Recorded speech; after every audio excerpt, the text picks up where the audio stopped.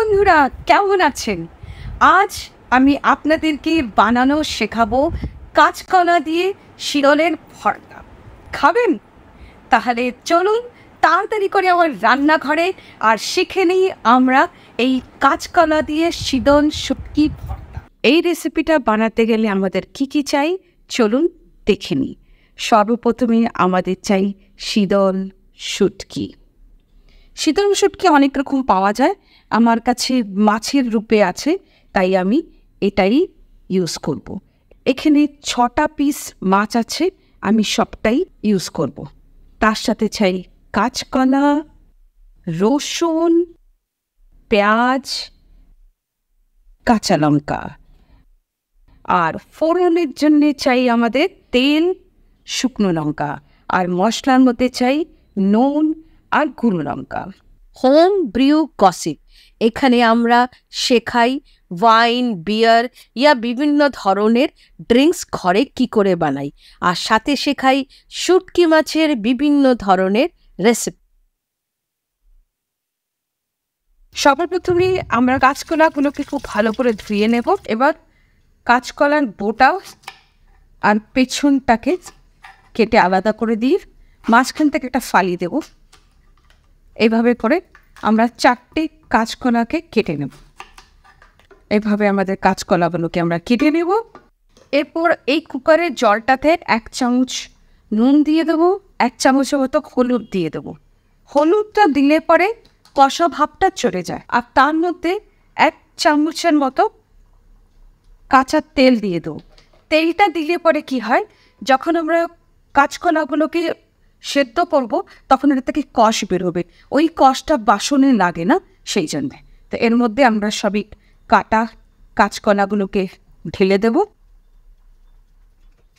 কুকারের ঢাকনাটা বন্ধ করে এটাকে আমরা তিনটে সিটি মারবে, তারপরে আমরা এটাকে নামিয়ে নেব। তো চলুন রান্নাঘরে যাই। আমি গ্যাস চালিয়ে ফেলেছি এবং কুকারটা এর মধ্যে বসিয়ে দিয়েছি।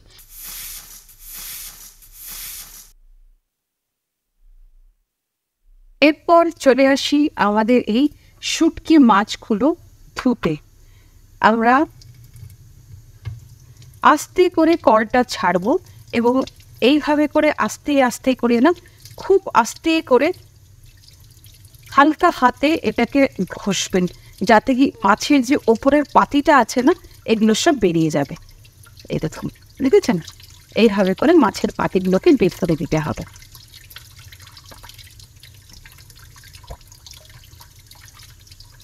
হালকা হাত দিয়ে এটাকে রগড়ালে পরে পুরো মাছের পাতিগুলো চলে যায়।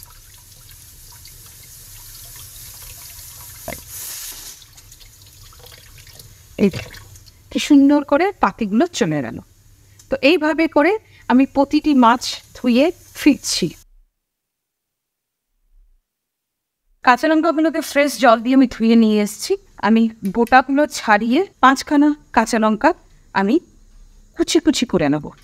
বেশি কুচি কুচি করা দরকার নেই, অল্প কুচি হলেও চলবে। তো এই লঙ্কাগুলোকে আমরা এখানে নিয়ে যাব। আমার এই লঙ্কাগুলো খুব ঝাল। পেঁয়াজ, রসুন, ছোলার আগে যদি আপনি জলে ভিজিয়ে রাখেন না, ওটার যে খোসাগুলো আছে, ওগুলো খুব সুন্দর করে খুলে যায়। আমাদের রসুন অনেকটা চাই।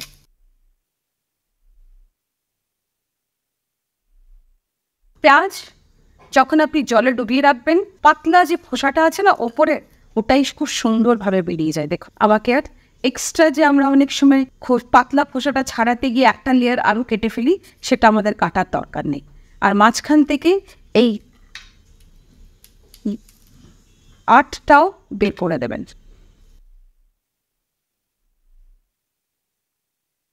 দেখেছেন কি সুন্দর করে পাতলা খোসাটাই খালি আমরা সেরিলাম আমাদের ওয়েস্টেজ হলো না। মাঝখানের গাঠিটাকেও কেটে বের করে দেবেন। এটা কিন্তু পাইলস হওয়ার কারণ। এটা ছড়িয়ে যদি আপনি ইউজ করেন, তাহলে খুব ভালো হয়। এবার আমাদের রসুনগুলোরও খোসা ছাড়িয়ে নিই। তো চলুন, এই সব রসুনের খোসা ছাড়িয়ে আপনাদের কাছে ফিরছি। আমরা পেঁয়াজগুলো ধুয়ে নিয়ে এসছি। এবার এটাকে সুন্দর করে কুচি কুচি করে কেটে নিই।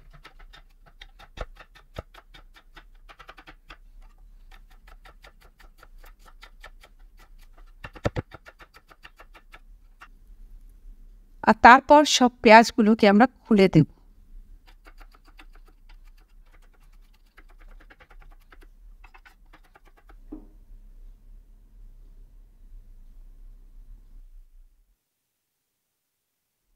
কুকারটা ঠান্ডা হয়ে গেছে এবং যত তাড়াতাড়ি পারবেন, এখান থেকে সব কাঁচকলাগুলোকে তুলে নেবেন। কেননা বেশিক্ষণ জলে থাকলে না খুব বেশি জল জল হয়ে যায়। তো এগুলোকে আমরা এইভাবে করে বের করে দেবো।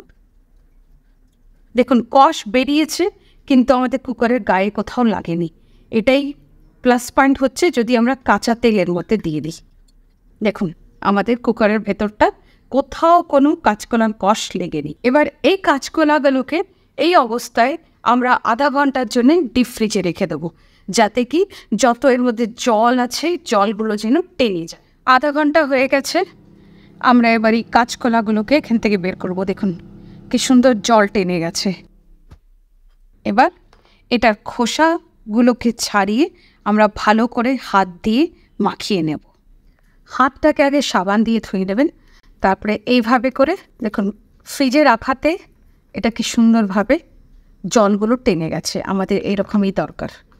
কেন ভর্তা যদি জল জল হয়ে যায় না, খেতে মজা আসে না। তাই এইভাবে করে ডিপ ফ্রিজে রেখে দিলে পরে আমাদের কলাগুলো খুব সুন্দরভাবে জলতীয় অবস্থার থেকে বাইরে বেরিয়ে যায়। আমাদের সব খোসাগুলো ছাড়ানো হয়ে গেল। এরপর আমরা হাত দিয়ে খুব ভালো করে এটাকে মাখিয়ে নেব। এইভাবে করে। আর খেয়াল রাখবেন, এর মধ্যে যেন গুটলি না রয়ে যায়। মানে ভাঙ্গা ছোটো টুকরো না হয়ে যায়। খুব ভালো করে এটাকে হাত দিয়ে ভর্তা বানিয়ে দেবেন। কেন ভর্তা ভর্তার মতো না হলে মজা আসে। দেখুন কি সুন্দরভাবে এর মধ্যে একটাও লামস আর নেই। চলুন এবার নেক্সট প্রসেসে যাই। আপনারা আমাকে ইনস্টাগ্রাম ফেসবুক টেলিগ্রাম আর পিনক্রেস্টেও ফলো করতে পারুন। লিঙ্ক ডিসক্রিপশন বক্সে আছে। এবং থ্যাঙ্কস অপশনটা ইউজ করে আমায় সাহায্য করুন ভিডিও বানানোর জন্য।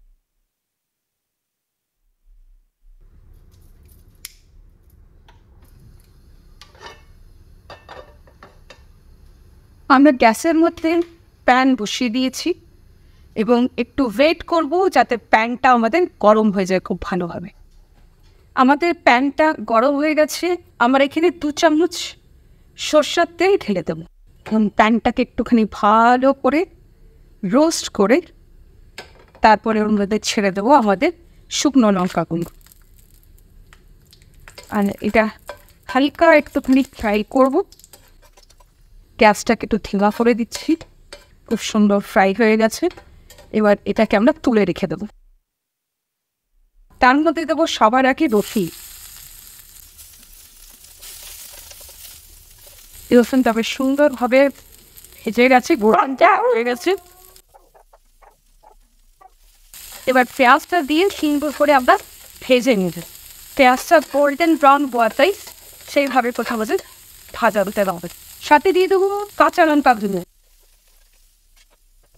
টেস্টের মতো আপনি যেরকম নুন খেতে পছন্দ করেন, সেরকম নুন দিয়ে দেবেন। আমি এখানে দেড় চামচের মতো নুন দিচ্ছি। গ্যাসের ফ্লেমটা কিন্তু মিডিয়াম হাইতে রাখবেন। বেশি হাই করবেন না, তাহলে পেঁয়াজগুলো পুড়ে যাবে।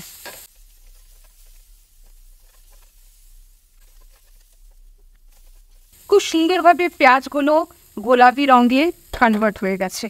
এবার এর মধ্যে দিয়ে দেবো আমাদের গুঁড়ো লঙ্কা আপনি যতটা ঝাল খেতে পছন্দ করেন, ততটা দেবেন। আমার এই লঙ্কাটা প্রচণ্ড ঝাল, তো আমি আধা চামচ লঙ্কা দিলাম এরপর দিয়ে দেবো আমাদের এই শুটকি মাছটা। আস্তে আস্তে কিনিয়ে দেবো। এই মাছটা যাতে ভালোভাবে সেদ্ধ হয়ে যায়, অল্প একটি জল দিয়ে দেবে। জল দিয়ে সেদ্ধ করার কিনে ছেড়ে দেবো। এবং সাথে সাথে আমরা ঢাকনাটা লাগিয়ে দেবো। আর আমাদের গ্যাসের ফ্রেমটাকে আস্তে করে দেবো, যাতে এটা খুব সুন্দরভাবে সেদ্ধ হয়ে যায়। দেখুন, দেখছেন? এইভাবে করে আমরা দু মিনিট এটাকে রান্না করব। দু মিনিট হয়ে গেছে। আমাদের মাছগুলো যেটা আছে সেটা খুব সুন্দরভাবে গলে গেছে।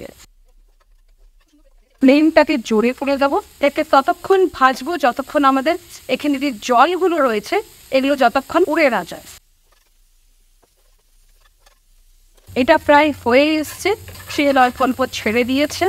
এবার আমরা এর মধ্যে আমাদের কাঁচকলার মাখাটা দিই। এটা ভাজতে একটু সময় লাগে, কেননা প্রতিটা মশলা কাঁচকলার গায়ে লেগে যেতে হবে।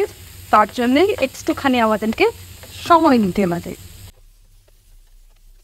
দেখুন, এত সুন্দর করে হয়ে গেছে যে পুরো ফ্যানটার থেকে এটা ছেড়ে গেছে। এবং কোথাও কোনো মশলা গায়ে লেগেনি এবার আমরা যেই শুকনো লঙ্কাগুলোকে তেলে ভেজে তুলেছিলাম, এগুলোকে ভেঙে এর মধ্যে দিয়ে দেবো। কেন শুকনো লঙ্কা যে ভাজার গন্ধটা যদি না আসে ভর্তাতে, তাহলে মজা লাগে না। তো এই জন্য এইভাবে করে আমি এটাকে ভেঙে দেবো। রেডি হয়ে গেল আমাদের এই কাঁচকোনা শীতল শুটকি ভর্তা। এবার এটা আমরা গরম গরম ভাতে খাব। আমি জানি এই ভর্তা দিয়ে আপনি পুরো এক থালা ভাত খেয়ে নিতে। চলুন, এবার আমরা খেয়ে দেখি। আমি আমার প্লেটে নিয়ে এসেছি। খাওয়া তো শুরু করেই দিয়েছি। আর আপনাদের সামনে একবার খেয়ে দেখাই। অপূর্ব স্বাদ। এই স্বাদ আমি আপনাদেরকে বলে বোঝাতে পারব না।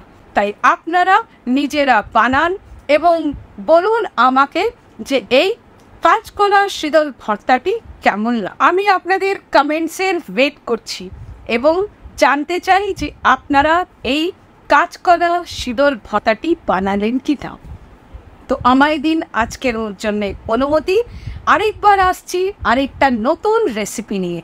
আর এখনও পর্যন্ত যদি আমার চ্যানেলটাকে আপনি সাবস্ক্রাইব না করে থাকুন, তাহলে তাড়াতাড়ি করে সাবস্ক্রাইব করুন। তো আমাকে দিন অনুমতি। নমস্কার। এবং এই কাজ করা শীতল ভত্তাটির কমেন্টের আমি অপেক্ষা করছি। বাই